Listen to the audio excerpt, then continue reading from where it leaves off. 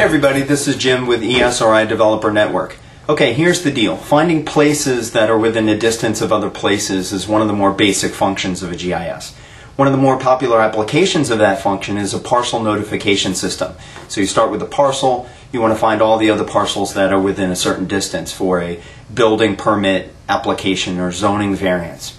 Well, with ArcGIS JavaScript API, you can put this type of application on the web and you can download it right now. Use it as is or we give you the source code, you can modify it as you see fit. So I got with Jeff Archer from our technical marketing group who wrote this application and asked him to show us real quick how it works, code behind it, components within it, and how to fit it into a nice web page. And uh, we'll walk through how to do that. Before I do that, let me show you how to get this thing, how to download it, and then we'll have Jeff walk through it. Okay, so starting with the JavaScript API Resource Center, click on the Community menu and then go over to the Code Gallery tab. If you sort on downloads, you'll find that currently the most popular download is this parcel notification list application. You'll see a description, be able to post a comment, or even click try it live to try it right there on your machine. So let's have Jeff show us how this works.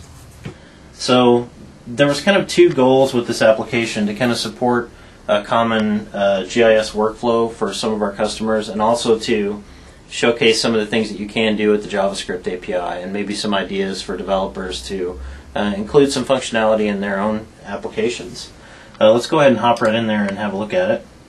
Um, once you go to the code gallery, you can browse down um, to the parcel notification list sample. Just go ahead and try the application. So I'm going to go ahead and load that. Uh, the formatting is a little bit smushed here for the uh, sake of the video. Um, but basically, we've got um, an HTML and JavaScript application, and I've actually activated the map to look at um, when someone clicks on the map, uh, the location they click, and to actually look at the parcel that's underneath that click location. So you can see here as I kind of click around the map, um, I'm identifying basically general information about the parcels that are underneath there. If I click somewhere without a parcel, it'll let me know. Um, so I'll go ahead and, and click one of these and then say, uh, look at the information about the parcel. I can see like sale price and that kind of thing. So uh, there's some appeal in that too, uh, just to kind of get some information about uh, downtown Portland. But uh, the main thing here is that I can generate a notification list based on a buffer distance in feet. so in this case, I'm going to put the buffer distance at 200 and submit that. So this is going to go back to um, the server and get some information uh, from a geoprocessing task. And the output of that geoprocessing task is then an, an uh, HTML table that has all the mailing addresses for owners within 200 feet of that parcel. So a lot of um, what you see here, um, all of the services came from the sample servers that are also listed on the JavaScript API Resource Center. So if you go to, let's go back to the Resource Center real quick and go to the samples page, or actually I believe it's on the home page. And you'll see here a uh, services directory for two sample servers, sample server 1 and sample, sample server 2. Um, I actually got the map information from sample server 1. Uh, what we're looking at here is the REST endpoint for these services. And if you're familiar with ArcGIS Server 9.3, uh, these one of the new things that's uh, included in the product is this REST endpoint or a REST API. So this allows you to kind of uh, browse the server and see what's running on the server um, through a simple web page. Um, and as you browse through here, you'll notice that you know the thing about REST, everything is a URL, correct? So if I want to go in and look at, say, the neighborhoods layer in Portland, um, and I want to add that to my application, I simply copy and paste the URL into my application, and I have referenced that map layer essentially. So the other um, sample server that I used actually has a uh, synchronous geo geoprocessing service uh, called Mailing List, and this is what actually generates the um, uh, HTML page that you saw pop up with the mailing list itself.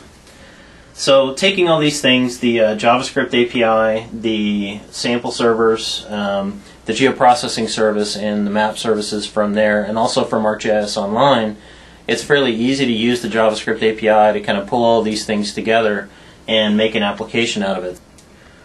You can see that this is basically a you know pretty simple HTML and JavaScript application. And looking at it from the top down, you can see that you know here I've got a reference to the um, JavaScript API from server API at arcgisonline.com. And one of the cool things about the uh, the API is it's actually built on top of Dojo. So when I download the API to my client's machines, I get Dojo basically for free. So it makes sense to use Dojo to kind of help uh, make a nicer user interface, to use some of the convenience tools that are there in Dojo to, to kind of make the application a little easier to write and also easier to use. So here I've added things like a title pane, uh, progress bar, and a dialog. These are Dojo dijits um, that also come as part of uh, the JavaScript API. So once I've added all that stuff into the application, um, I have an initialization function that basically goes out and gets um, all of these services from um, the sample servers. So you can see here I'm adding a base map layer from ArcGIS Online, and now I'm starting to add information from sample server 1. Uh, this is neighborhood and parcel information for downtown Portland, and I'm also adding, scroll down a bit here, a geoprocessing task and some query tasks that I'm going to use to get some information. There's my GP task. So I'm using a one of the sample servers and um, just assigning that to a variable GP. You know, some of the things that I was just talking about in the code you can see here. So for instance, this control panel um, that shows the actual um, you know things you can do like changing out the, the base maps in the application. You can toggle between different ArcGIS Online layers.